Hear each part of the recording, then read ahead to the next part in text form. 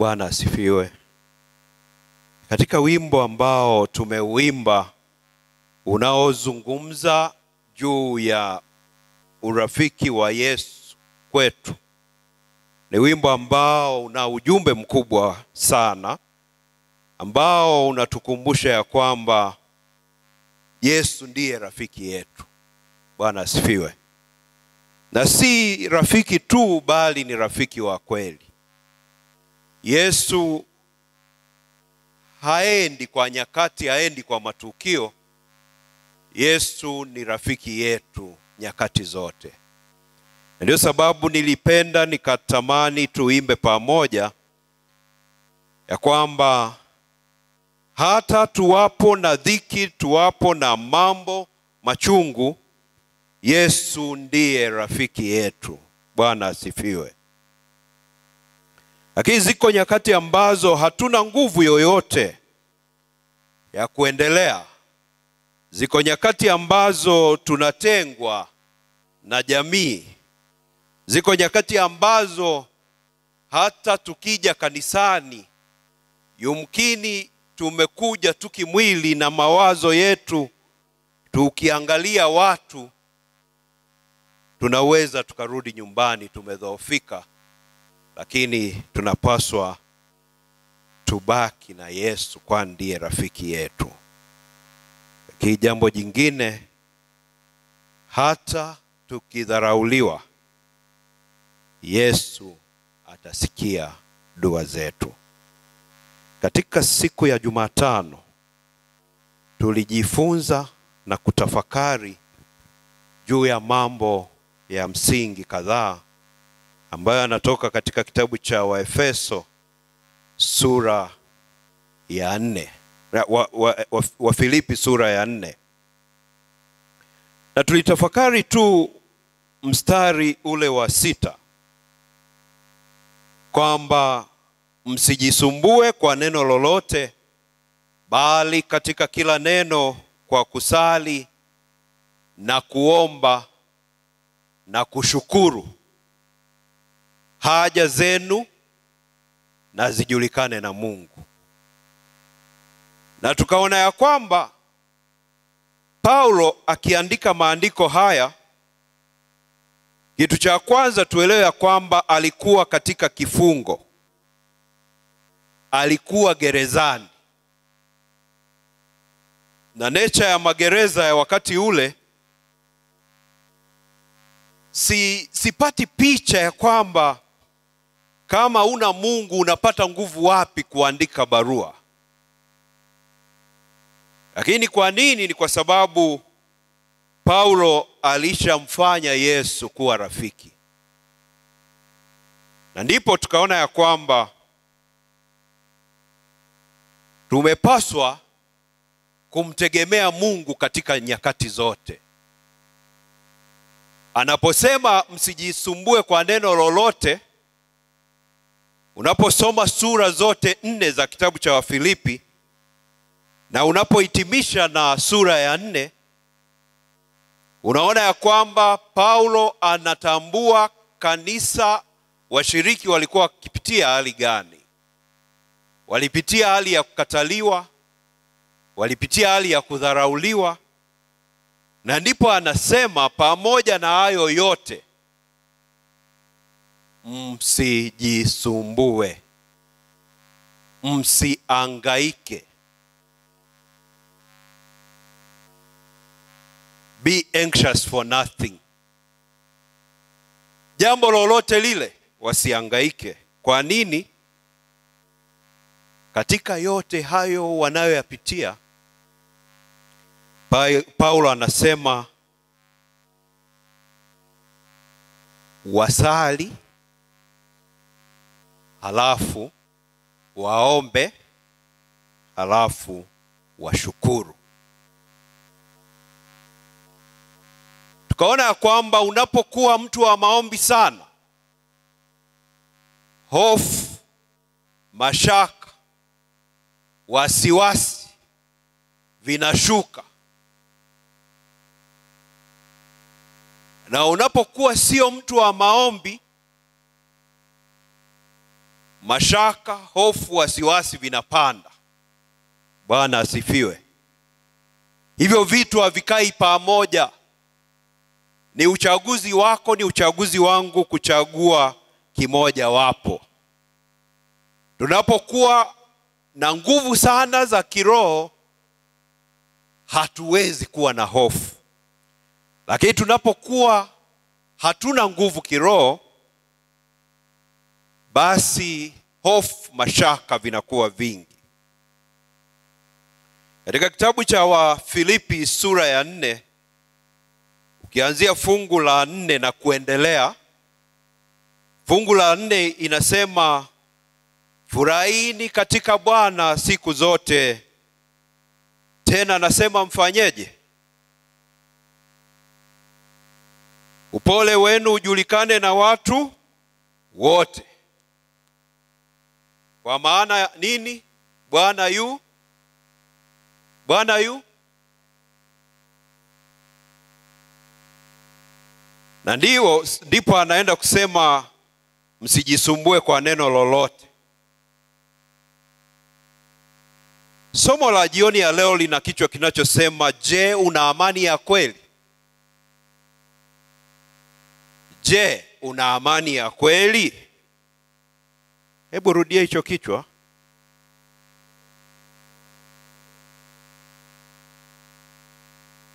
Tena.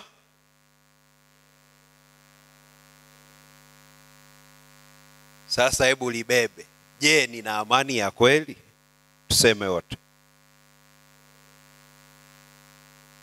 Haya kila mtu si anajibu. Katika maisha yetu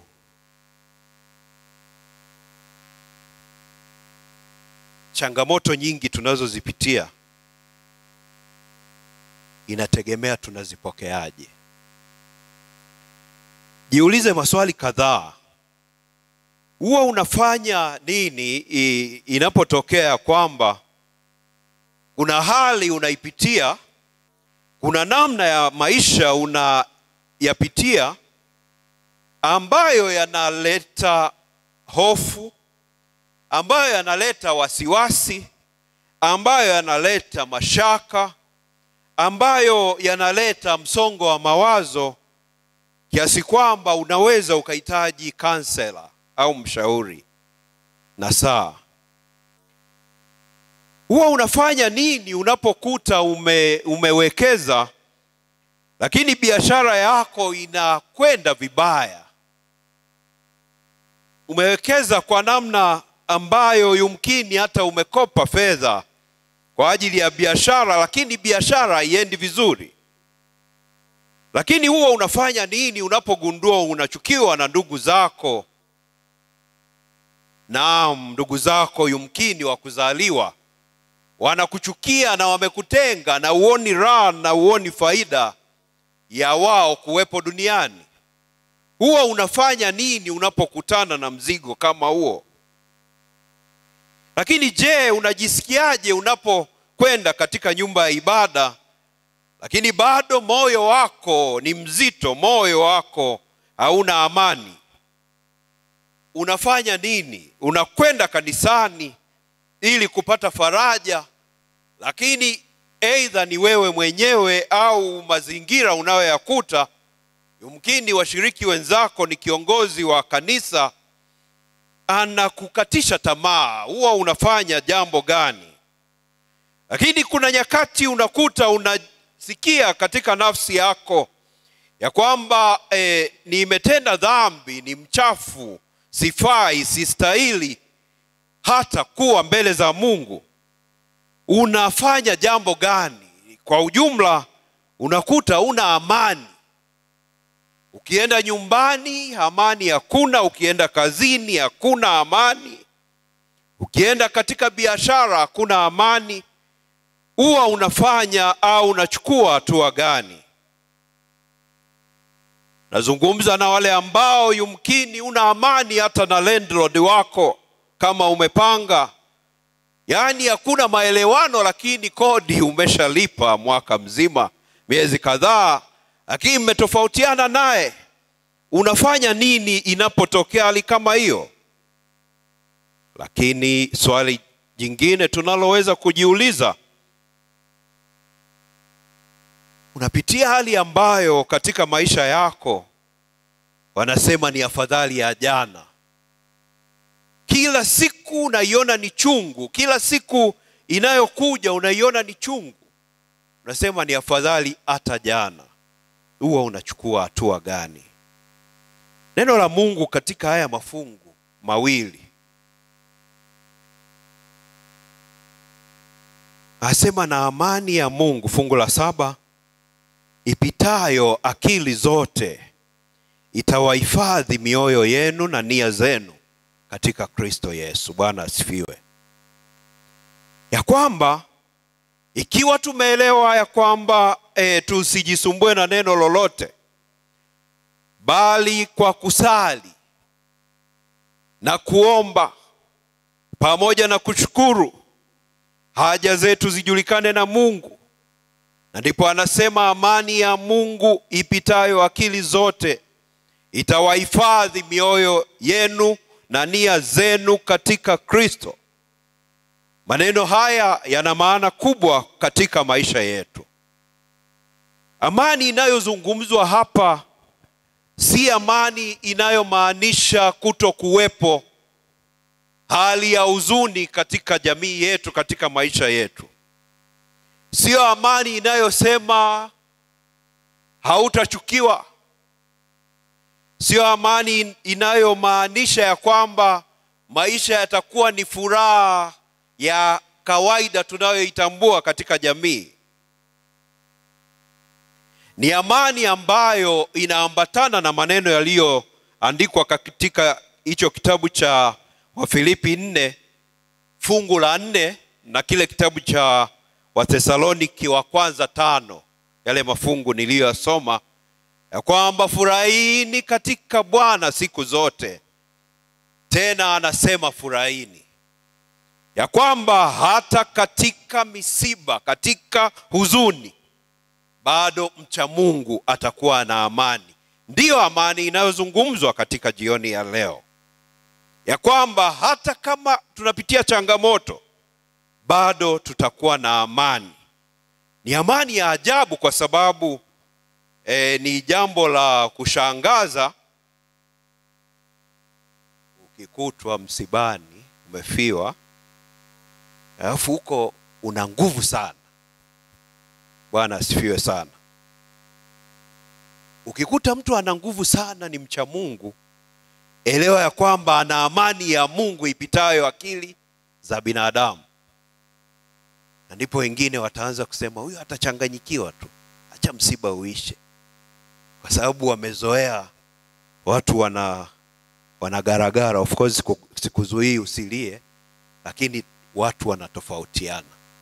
Na huo uimara wa kuwatia moyo hata waliokuja kufariji unatokana na amani ya mungu ipitayo akili za binadamu.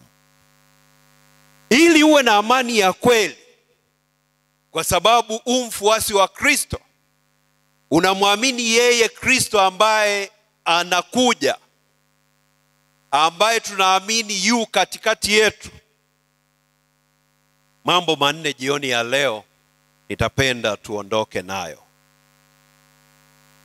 Paulo akiwaandikia wafilipi aligundua katika jamii ile kuna mafarakano kuna kutokuelewana. Alielewa kabisa katikati ya viongozi wa kanisa wakati huo kulikuwa hakuna maelewano. Sasa jambo la kwanza ili uwe na amani ya kweli katika maisha yako jambo la kwanza upende suluhu upende maelewano upende kuleta maridhiano katika jamii unayoishi. Ikiwa ni nyumbani penda amani penda suluhu. Kama ni wanandoa hakikisha ya kwamba wewe na mwenzako mnapenda amani mnapenda suluhu. Acheni magomvi. Bwana asifiwe bwana asifiwe. Ikiwa ni kanisani vivyo hivyo siku zote ukiona kuna tofauti hakikisha unaleta maelewano. Penda suluhu utaenjoy maisha katika bwana. Bwana asifiwe. Bwana asifiwe. Lakini jambo la pili mtume paulo akiandika barua kwa wathesalonike akiandika barua kwa wafilipi anahimiza wawe watu wa furaha siku zote. Utajiuliza inawezekanaje uwe wa furaha siku zote? Wakati maisha yenyewe yalivyotuweka hapa duniani maisha yenyewe ni changamoto. Unawezaje kuwa mtu wa furaha? Ni pale tu utakapokuwa mtu wa kumtegemea mungu ni pale ambapo wewe unapoona shida imeingia unapoona changamoto imeingia unapoona ugonjwa umeingia ndani ya mwili wako unapoona kazini ni changamoto uelewani na bosi wako uelewani na wafanyakazi wenzako unapoona hata nyumbani kuna changamoto zimeingia hakuna maelewano badala ya kuyakuza matatizo badala ya kumshirikisha kila mtu tatizo lako huku wengine wakikuchora badala ya kukusaidia wewe unakabidhi huo mzigo kwa mungu. Bwana asifiwe. Tuwe na tabia ya kukabidhi mambo yetu kwa mungu. Hiyo ndiyo itatupa furaha siku zote kwa sababu gani? Juzi tulisoma fungu linalosema yeye anajishughulisha na mambo yetu. Yaani hata shida inapokuja hata mwenzako anapokujibu vibaya elewa mungu analiona hilo na anaelewa kabisa hiyo ni dozi inayokutosha ni mlango ambao unaweza ukatoka. Sio jambo la kukufanya upanic ni ishu ambayo ni nyepesi kwako. Badala ya kupaniki na kupanda hatimaye mwanze kupigana unapaswa ukabidhi kwa mungu na ndipo utakuwa mtu mwenye furaha siku zote. Bwana asifiwe.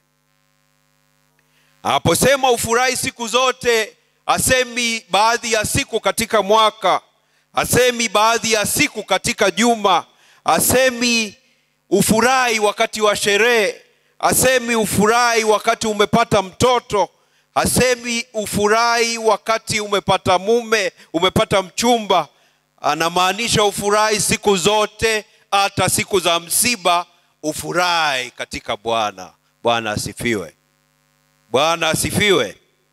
E, sasa uwe na hekima. We jichekereshe wakati wa msiba walimwengu watasema umemuua. Si ndivyo walivyo? Si ndivyo walivyo yaani hata asikitiki heri uwe na bwana.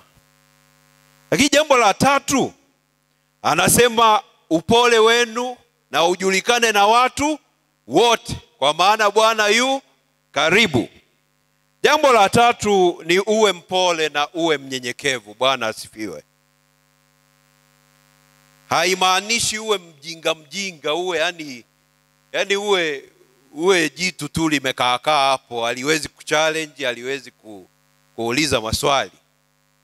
Sijui kama ninaeleweka. Asema upole wenu ujulikane na watu wote kwa maana bwana yu karibu. Hapa ninazungumza na washiriki ambao yumkini tuna mabaka mabaka kama kinyonga. Yawezekana tabia zetu katikati ya juma zinatofautiana sana na siku ya ibada. Ninaongea na waumini ambao dini yao iko iko siku za ibada peke yake. Ninaongea na waumini ambao yumkini siku ya sabato ndipo wanakuwa watu wa maana. Siku ya jumapili wanaoabudu jumapili wanakuwa watu wa maana. Kama ni msikitini vivyo hivyo wanakuwa watu wa maana siku za ibada lakini siku zingine ni watu wa ovyo. Ninaongea na watu ambao yumkini wana siku na matukio maalum ambayo wanakuwa wacha mungu wako waumini ambao wanaenda katika nyumba za ibada siku za sherehe za kiulimwengu. Lakini wapo ambao yumkini hata mionekano yao maneno yao mavazi yao yanaonekana mavazi ya ajabu wakiwa hawako katika nyumba za ibada na wakija katika nyumba za ibada wanabadilika wanakuwa vitu vingine. Hilo linagusa mwenendo wetu lakini pia upole wetu ujulikane na watu wote. Bwana asifiwe. Isije ikatokea kwamba unas, watu wanasema eh, maneno kaongea msabato itakuwa ni huzuni. Upole wetu usijulikane kanisani peke yake. Upole wetu na unyenyekevu usionekane nyumbani peke yake. Upole wetu na ujulikane na watu wote kazini shambani katika biashara na mahali popote. Lakini jambo la nne ukitaka uwe na amani ya kweli katika kristo elewa ya kwamba usijisumbue kwa neno lolote. Hajasema mambo fulani anasema lolote. E, ukiona ukiona hata ibada imekuwa ndefu wewe usijisumbue. Bwana asifiwe. Sina maana ibada hii. Kwani sahii saa ngapi? Saa hizi bado. Si ndio? Usijisumbue kwa neno lolote ninazungumza na watu ambao wana vipaji vya kuangalia matatizo na dosari za wenzao. Kama ni mshiriki kama ni kiongozi wako watu ambao wako tayari ku tumetoka tu hapo kanisani. Anaanza kusema mm-hmm, moja mbili tatu nne. Hiyo nguo gani amevaa? Ukiambiwa neno kama hilo ukiambiwa ah fulani bwana. Hey, umesikia ame, ameanguka bwana. Kiroho kikristo. Ukitaka umkomeshe huyo mndugu don't comment anything mchukue pembeni. Alafu mwambie tupige magoti tuombe. Bwana asifiwe. Bwana asifiwe. Yaani mwambie tu hebu samani njoo unajua hili kanisa huwa hamlitumii vizuri. Hata kama ni watu wametawanyika kwenye chakula we chukua huyo mtu njoni hapa mbele hapa. Hili kanisa ni lenu. Kanisa la sabato halina restrictions. We mchukue tu njoni hapa mpige magoti muombe. Baba mungu asante kwa upendo wako. Asante kwa huyu rafiki yangu. Tumepiga magoti hapa kumwombea huyu ndugu anayesemwa kwamba ana changamoto moja mbili tatu. Tusamehe maana na sisi tunayo madhaifu yetu. Sema tu hayajaonekana. Mungu tubariki. Endelea kuwa nasi kwa jina la yesu kristo. Amina. Huyo mtu ataendelea na tabia zake? Ataendelea na tabia zake? Tunapokwama ni pale anakuja na chokochoko choko, na wewe badala ya kuzima unachochea moto unazima moto kwa maji. Utazimika huo moto? E, hata yale afaya huwa sio maji ya kawaida. Si ndio? E, si maji yana oxygen eh? lakini mambo mawili ya mwisho. Ninasisitiza nilisema juzi ninasisitiza tena leo. Yaani ukiona watu wanaishi kwa hofu wanaishi kwa wasiwasi imani yao kwa mungu iko chini sana. Hao watu sio wa maombi. Bwana asifiwe. We kila siku eh, yani huu mgongo jamani yani yani yani mgongo huu yani akakaa ugonjwa aka we furahi katika bwana. Sema mungu anaona hii shida ninayoipitia na ameruhusu ipite kwangu inaonyesha unamwamini aliyekuumba unamwamini anayeendelea kukutunza. Hivyo una haja ya kuwa na mashaka. Ndiyo maana ya kufurahi siku zote. Mwisho kabisa tuwe na mtindo wa maisha wa ibada. Bwana asifiwe. Tuwe na mtindo wa maisha wa nini? Ikiwa katika maisha yetu tunafanya ibada pale tu tunapokuja kanisani, shida ipo na inakaa. Ikiwa tunafanya ibada pale tu familia inapoitwa kwa ajili ya maombi, shida ipo inakaa. Ninapozungumza habari ya mtindo wa maisha wa ibada, ina maana ya kwamba iwe ni kama pumzi tunayopumua kila wakati, ambayo ukinyimwa dakika moja mbili, kama sio wale waogeleaji, unakata moto. Kwa nini hatuna mazoea ya kuzungumza na Mungu kila wakati? Tunaisikiliza sauti ya Mungu kupitia maandiko matakatifu. Tunaposoma, lakini tunapokumbuka aliyotutendea, lakini tunazungumza na Mungu kupitia maombi yetu, na ndiyo sababu tunapotafakari neno lolote, mambo yote yanayoweza kutusibu katika maisha, tukijisumbua nayo, yaani ukiona tu yamekuja, wewe worship fanya ibada, mwabudu Mungu, imba, sali, omba, shukuru, na Bwana atadumu kuwa pamoja nawe. Bwana asifiwe sana. Don't, don't, don't forget to subscribe, to like, share, and comment.